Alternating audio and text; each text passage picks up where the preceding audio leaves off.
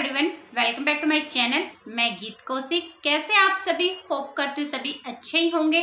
Friends आज की जो हमारी वीडियो है वो काफ़ी हेल्पफुल होने वाली है और काफ़ी मज़ेदार भी है क्योंकि फ्रेंड्स आप जब भी, भी सिलाई का काम करते हो तो बार बार आपकी सुई से धागा निकल जाता है और कई बार इतना लंबा आप धागा छोड़ते हो कि सुई से ना निकले, जिससे कि धागे की वेस्टेज भी बहुत ही ज़्यादा होती है। उसके लिए आपको क्या करना चाहिए, हम वीडियो में आगे जानने वाले हैं। वीडियो काफ़ी हेल्पफुल होने वाली है। वीडियो को पूरा ज़रूर देखना।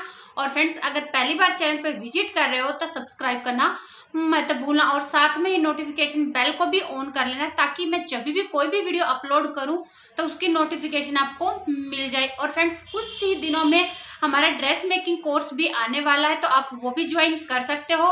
काफ़ी हेल्पफुल होने वाला है वो कोर्स आपको बिल्कुल बेसिक से हाई लेवल तक की यहाँ पे स्टिचिंग सिखाई जाएगी और आपको बिल्कुल ट्रेंड कर दिया जाएगा। और फ्रेंड्स उसके बाद आपको कोई भी ऐसी वीडियोस देखने की ज़रूरत नहीं पड़ेगी। आई थिंक इतना अच्छा हमारा ये कोर्स होने वाला है। और फ्रेंड्स अब हम अपनी वीडियो को बड़ा न करते हुए चलो देखते हैं कि वो क्या ट्रिक है।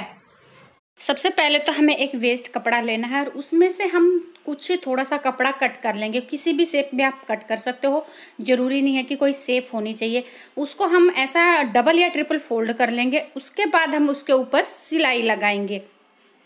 आप सिलाई जब उस पर लगा लोगे, उसके बाद जिस कपड़े पे हमें सिलाई लगानी है मतलब ये मैं वेस्ट ही आपको दिखा रही हूँ, कोई परफेक्ट मैं सिलाई नहीं दिखा रही हूँ। तो जैसे हमारा ये फैब्रिक पे हम सिलाई लगाएँगे, कुछ भी जो हमें स्टिच करना है तो क्या करेंगे? जैसे ये हमारा आगे की तरफ़ कपड़ा चला गया, जो हमारा वेस्ट कपड़ा था तो इस पर हम फिर से धागा चढ़ा देंगे मतलब इस पर ही सिलाई लगाते जाएँगे हम बार बार फिर से हम अपना दूसरा फैब्रिक लेंगे तो उस पर सिलाई लगाएँगे।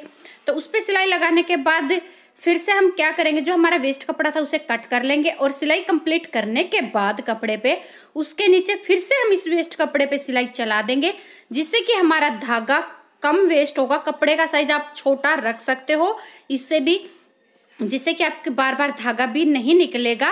और फ्रेंड्स जब आप सिलाई बंद करो तो ऐसे इस पे सिलाई चला के और सुई इसके अंदर ही छोड़ देनी है, ताकि आपके बच्चे हो घर में तो धागे वागे को ना खींचें।